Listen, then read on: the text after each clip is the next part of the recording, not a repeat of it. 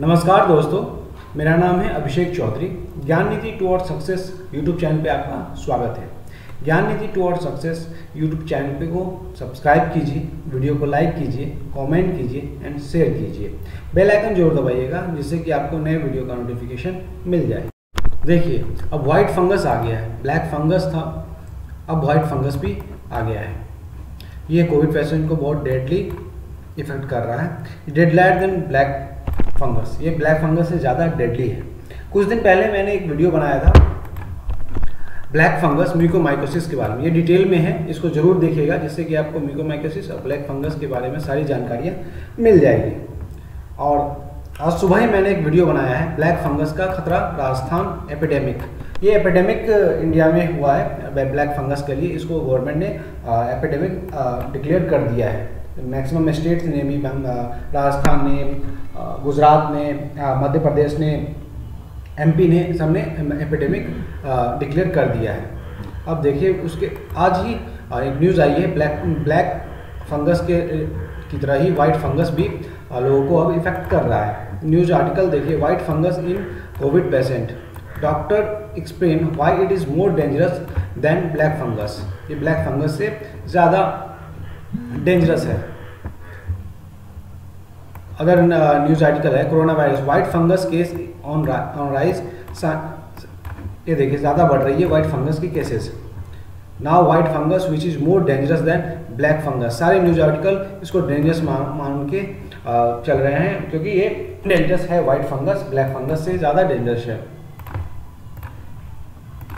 जैसा कि मैंने आपको बताया ब्लैक फंगस के लिए सेंट्रल गवर्नमेंट ने भी एपिडेमिक डिक्लेयर कर दिया है म्यूकोमाइकोसिस को। अब देखिए वाइट फंगस भी आ गया है has been found affect some people कुछ पीपल में अभी इसको पाया गया है। सब, अभी जो केस रिपोर्ट केस निकल के आ रही है वो पटना, बिहार से है।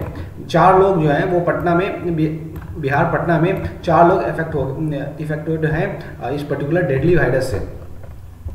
ये डॉक्टर अरुणेश कुमार, ये सीनियर कंसल्टेंट है पारस हॉस्पिटल में पटना में है पारस हॉस्पिटल, उसके अंदर ये अरुणेश कुमार जो है, वो सीनियर कंसल्टेंट है। उन्होंने कहा है कि ये मोर डेंजरस है। ब्लैक ब्लैक फंगस के कंपेरिजन में ये बहुत ज़्यादा ही डेंजरस है। ये देखिए this is infection can be cause due to low immunity ये लो इम्यूनिटी ही के कारण वाइट फंगस इफ़ेक्ट कर रहा है लोगों को पोस्ट कोविड ब्लैक फंगस में भी मैंने मैंने बताया था कि ये लोग इम्यूनिटी की वजह से ही ब्लैक फंगस लोगों में फैल रहा है। और सेम केस है वाइट फंगस के लिए। बट ये वाइट फंगस कुछ ज़्यादा ही डेडली है। पेशेंट सिम्टम्स देखिए।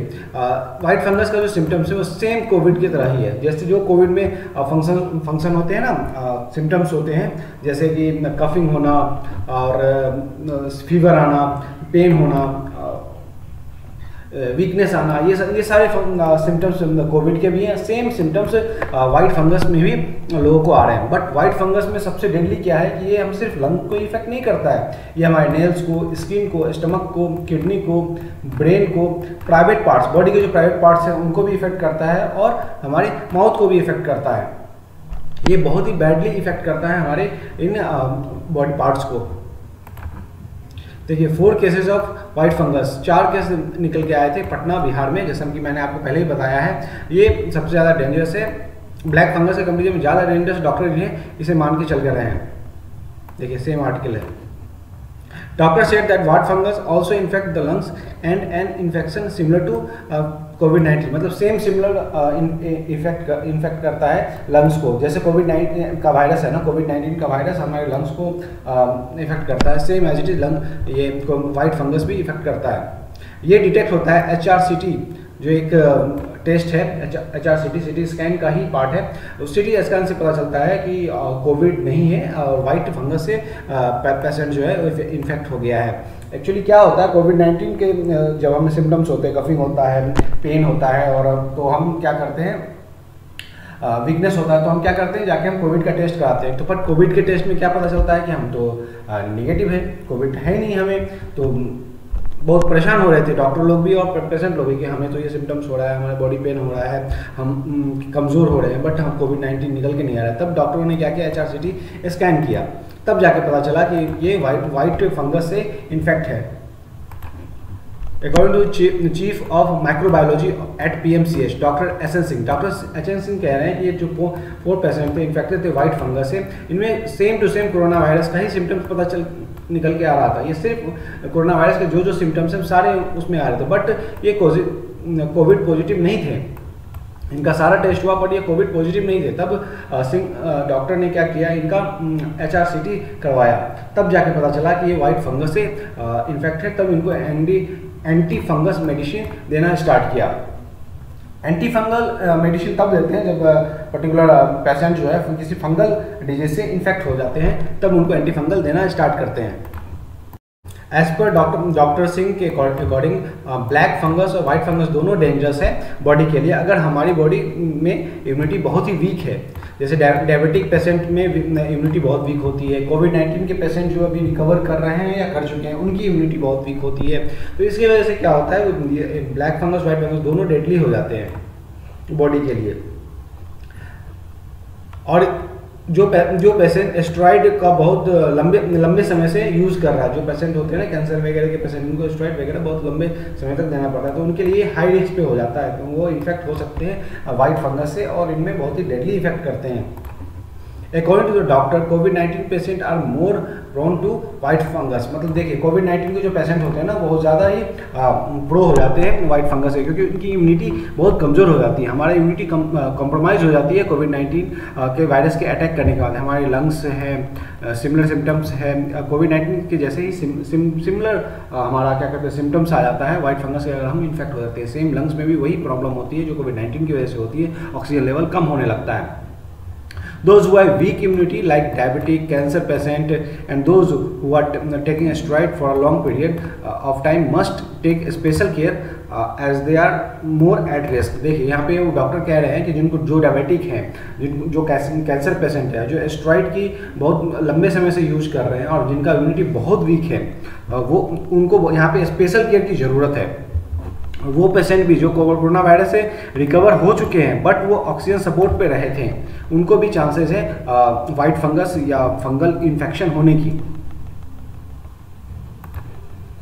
White fungal is also affecting those corona virus patient who are on oxygen support जो ऑक्सीजन सपोर्ट पे थे ना, उनको फंगल होने की चांसेस बहुत ज़्यादा बढ़ जाती है। क्योंकि मैंने ब्लैक मिकोमाइकोसिस के केस में भी बताया था कि जब हमारा बॉडी जो है ना, जो लिक्विड ऑक्सीजन होते हैं सप्लीमेंट्री ऑक्सीजन होते हैं, वो डायरेक्ट हम नहीं ले सकते। क्योंकि सप्लीमेंट्री ऑक्सीजन जो होते हैं, वो ड्राई होते हैं। और अगर हम ड्राई ऑक्सीजन डायरेक्ट लेते हैं बॉडी में तो हमारे लंग्स को वो ट्राई कर देता है, जो हमारी बॉडी में बहुत सारे साइड इफ़ेक्ट आ सकती है। इसकी वजह से बॉडी पेशेंट की जान भी जा सकती है। तो इसलिए डॉक्टर क्या करते हैं, उस पर्टिकुलर ऑक्सीजन को पहले ड्राई ऑक्सीजन जो होती है, उसको वाटर के थ्रू सप्लाई करते हैं, जिससे कि वो उसका ड्राइनेस थोड़ा कम हो जाए। तो जो वाटर यूज़ होता है ना, वो वो साफ़ होना चाहिए। अगर वो साफ़ नहीं है, वो थोड़ा सा भी गंदा है तो उसमें फंगल आने के चांसेस ज़्यादा हो जाते हैं। तो जिसकी वजह से क्या होता है जो कोविड नाइन्टीन के पेशेंट जो ऑक्सीजन सपोर्ट पे रहते हैं, उन, उनमें ये चांसेस बढ़ जा रहा है। According to doctor cancer patient to take remain at alert against white fungus जो कैंसर के पेशेंट होते हैं, उनकी भी इम्यूनिटी कंप्रोमाइज रहती है। वो बहुत समय से दवा भी खा रहे होते हैं, जिसकी वजह से उनको वाइट फंगस और ब्लैक ये फंगल इन्फेक्शन होने की चांसेस बढ़ जाती है। The white white fungal also infect children and women and according to the doctor it is the main reason of leucorrhoea ये क्या है? एक प्राइवेट पार्ट में लिक्विड होता है, जो जो ओमन ओमन के जो औरत होते हैं ना, उनके प्राइवेट पार्ट से लिक्विड वाइट कलर के निकलते हैं, जिसकी वजह से भी उनको फंगल होने के चांसेस बढ़ जाते हैं। अगर इम्यूनिटी कमज़ोर है तो फिर तो अब किसी को भी हो सकता है बट ओमन में ये चांसेस बढ़ जाते हैं। Doctor Singh said that it is easy to prevent white fungal infection बहुत ही इजी है, इसको प्रिवेंट किया जा सकता है एंटी फंगल मेडिसिन के थ्रू बट क्या है, हम हमारी बॉडी की इम्यूनिटी भी थोड़ी अच्छी होनी चाहिए। अगर वीक बहुत ज़्यादा वीक है तो प्रॉब्लम हो जाएगी। हाँ लेकिन एक और बात है कि इनिशियल स्टेज में अगर पता चल जाता है कि कोई पेशेंट वाइट फंगल से इन्फेक्ट है तो फिर उनका मेडिकल केयर करना ईजी हो जाता है और वो जल्दी रिकवर कर जाते हैं। बाय सैनिटिंग एंड ऑक्सीजन और वेंटिलेटर प्रॉपरली जो जो हम, जो भी हम यूज़ कर रहे हैं ना चीज़ें, उनको सैनिटाइज करने की बहुत ज़्यादा ज़रूरी है। क्योंकि देखिए फंगल जो हमारे इन्वायरमेंट में भी है। हमारे फ्रूट्स के ऊपर वेजिटेबल्स के ऊपर जो भी क्या कहते हैं हम पानी यूज़ करते हैं, उन सब में फंगल रहता है। तो बस हमें ये ध्यान रखना है कि हम प्रॉपर चीज़ों को सैनिटाइज करें साफ़ सुथरा रखें आसपास के, अपने आसपास के इन्वायरमेंट को, जिससे की वजह से कि हम फंगल से, फंगल पनप ना पाए। देखिए, आप ये भी देखेंगे ब्रेड के ऊपर ही फंगल लग जाते हैं, जब ब्रेड पुराना हो जाता है। तो वही फंगल का एक एग्ज़ाम्पल है, आप उसको अच्छे से समझ सकते हैं। ये था व्हाइट फंगल के बारे में lecture thank you Gyan Nidhi to success YouTube channel को सब्सक्राइब कीजिए वीडियो को लाइक कीजिए कमेंट कीजिए एंड शेयर कीजिए। बेल आइकन को ज़रूर दबाइएगा जिससे कि आपको नए वीडियो का नोटिफिकेशन मिल जाए। Thank you